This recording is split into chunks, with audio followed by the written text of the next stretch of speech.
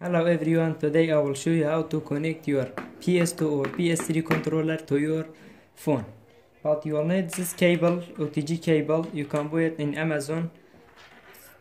Uh, cost uh, one dollar.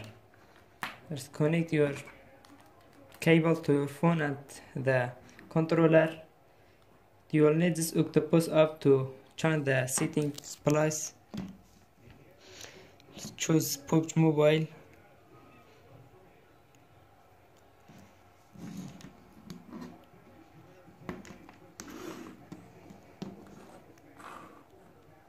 Look, your controller is connected.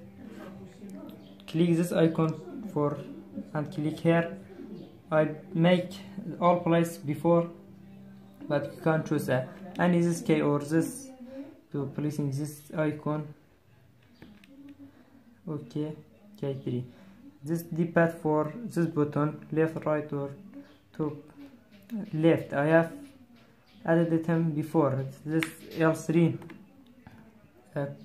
roller this is the R3 if you finish click here and play your game successfully.